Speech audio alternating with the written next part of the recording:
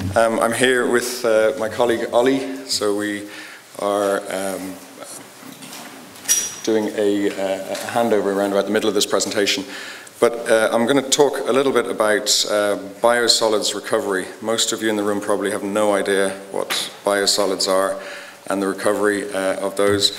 But in terms of um, a picture, uh, it gives you an idea here. Uh, um, biosolids are the byproduct of wastewater treatment. One of the byproducts when, when wastewater is treated at a treatment plant, you get clean water and you get a sludge product which is treated uh, in, in this case by further anaerobic digestion and then uh, dewatered to produce a sludge uh, biosolid cake.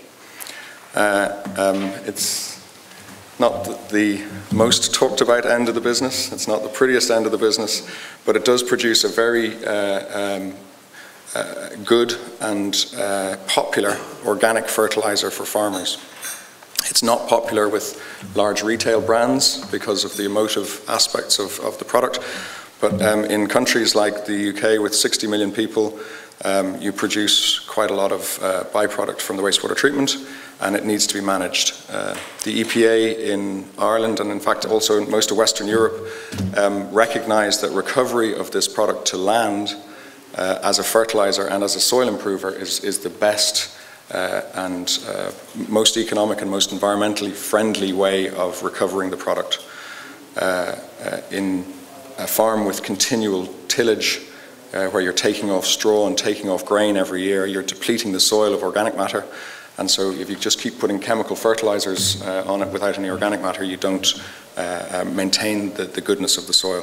So it's a very popular product, particularly with large arable farmers in, uh, in England where Severn Trent is.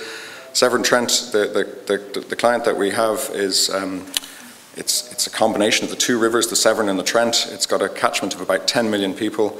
It's about 4.2 million uh, households.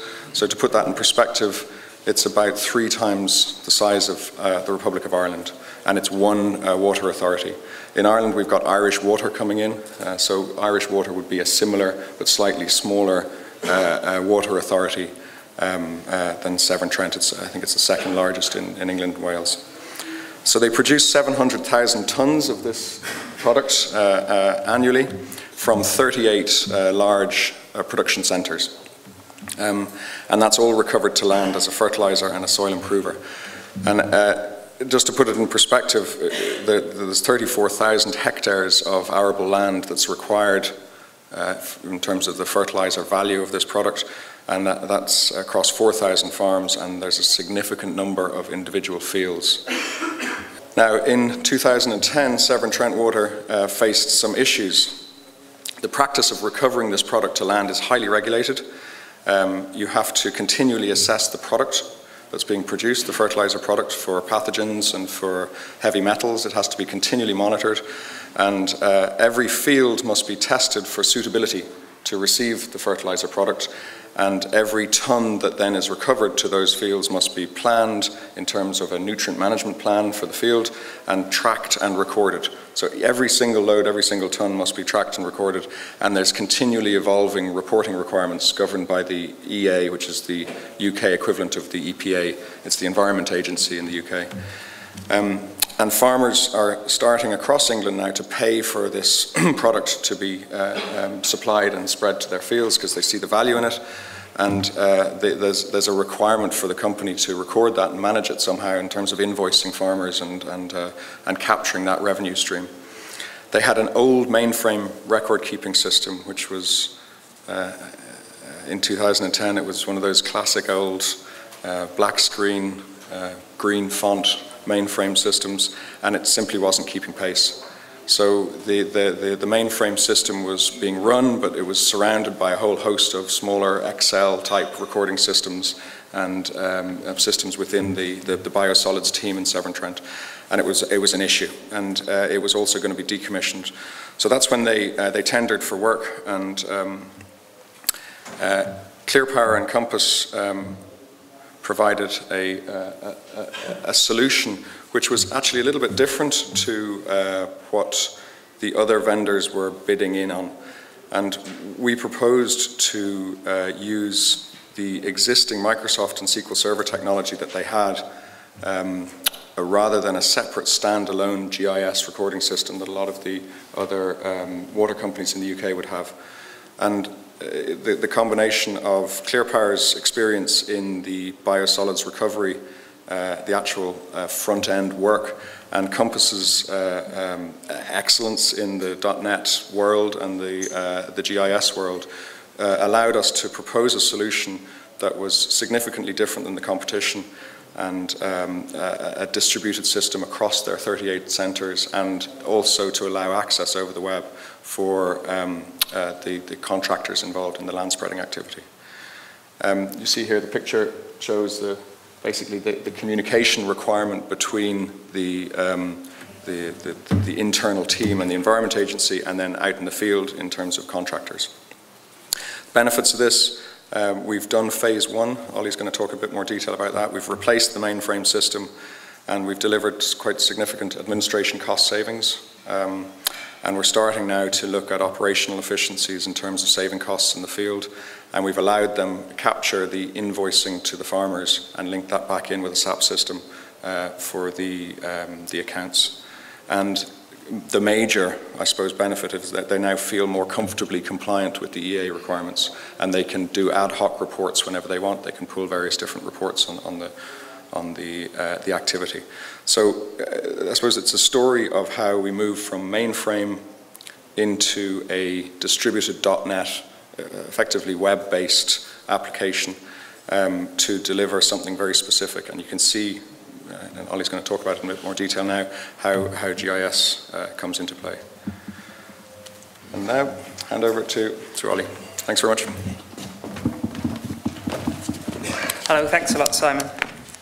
Um, so uh, the first phase, I think for Severn Trent Water, it could probably be, I suppose it might be a bit of a horror movie really, probably Escape from the Mainframe or something they would call it. But over the last year, we um, managed to release them from their, their mainframe woes and they're now running on a, on a new web-based .NET system that we developed for them.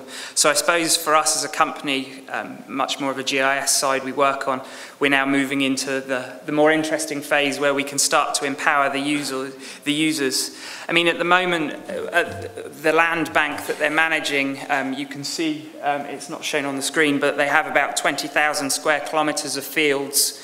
They have about 10,000 active fields that they've put biosolids to land over the last um, three to four years and they probably manage about 3,000 fields a year to spread biosolids and that's all managed by three people. So as you can imagine they're fairly busy people at the moment and they currently do that task using absolutely no GIS, no spatial information. So everything they do is based at looking at paper maps or Google Maps at maximum and they have no ability to mine their data. So one of the major factors we're proposing and we're developing for them in their next phase of the development is the use of GIS. And like we've seen here, is this is the nitrate vulnerable zones for the UK, as you can see that um, a lot of the middle of the screen here is their land, so they have a major nitrate vulnerable zone that they have to manage. So one of the major things with GIS is the ability for them to um, easily identify problem areas. Um, for each field that they look at, they have to look at over 35 factors some spatial, some not spatial. You can't sludge to land if the land is too wet, if it's near boreholes, if it's in nitrate vulnerable zones, if the metal additions are too high. There's a whole bunch of factors they have to work on. So at the moment, for every single field, someone has to go and individually visit that field, fill in a, fill in a paper form, and then go back and enter that into a system, which is a very laborious process. And we're hoping to speed up as part of the um, phase two of the project. So some of those factors are nitrate vulnerable zones. zones. These are um, areas which are identified by the EA in the UK, and you, can't, you can only spread certain amounts of nitrogen to land. Also, aquifer zones are areas where there's water that's extracted for um, human consumption then things like sites of special interest, people don't really appreciate you going putting biosolids on um, monuments and things. It has been done in the past, but people get in a lot of trouble for doing it. And then again, there's lots more things, so natural occurring um, chemicals, um, spring boreholes, overhead power lines. You'd be amazed at um, where you can and can't, cannot spread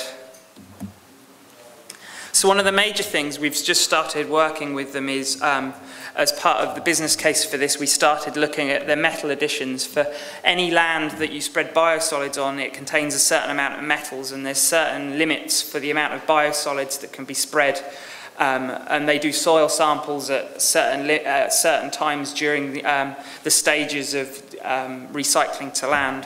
So we started looking at the GIS for this. And um, at the moment, we're just using Arc Desktop, but we're going to provide them with a um, browser-based solution so it can be accessed by the whole of Severn Trent Water.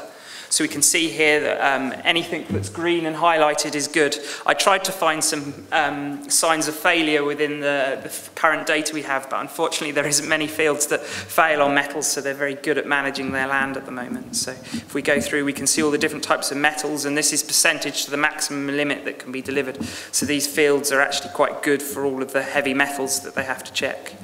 On the field pH side, you can see we're slowly going from uh, to orange, so there's no reds, unfortunately, but um, so it means that all the, these fields here would be good to spread on. So um, one of the major problems they've had as well is that um, they do sampling is um, it's not the farmer that pays for sampling of land to work out metal additions, it's Seven Trent Water that have to pay for it. And in the middle of um, the UK, there's actually whole belts of land that fail samples just by naturally occurring metals. Um, and they've had problems in the past of they've gone and sampled these areas and then maybe come back five years later and resampled them and discovered both times they failed. And these, um, it's, we're not talking kind of tens of thousands, we're talking hundreds of thousands. They've spent sampling massive amounts of land to check for um, heavy metals and they've gone back and done that again where if they had a map to see this data um, they could have avoided spending that money. So there is a big cost-saving benefit to empowering the users just simply by providing them with a map to look at. So I mean, that's the basic level that I've talked about. I mean, once we start moving forwards with this, the GIS analysis that can be done and the data mining that can be done on the non-spatial data, but now we have uh, field boundaries and everything that can be linked up is, is quite interesting. One of the major other things we do is, um, is we work with the regulatory side. So at the moment, um, Severn Trent Water, every bit of biosolids to land is either weighed or logged through um, a logging system on the treatment sites. So the next thing we're going to be doing is linking up the loggers that are on the sites to the biosolids management system. So for every single ton of biosolids that goes to land, we um, can manage that and ensure that there's no um, biosolids delivered to the wrong field because it's quite a problem in the past where um, contractors have gone and taken 20 tons of sludge. Um, basically, when you see a big truck driving down the road and you get a funny smell, it's probably because it's got biosolids in it.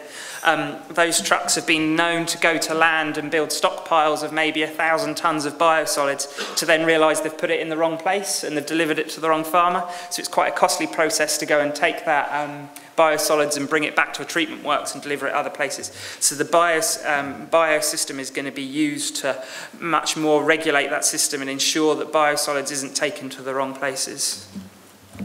So the communication between the biosystem and the delivery systems on the treatment works is going to be implemented. So every single ton of biosolids that goes to land is fully documented and can be reported to the EA through the reporting procedures that have to be provided any, every year. So only authorised deliveries will be taken to land.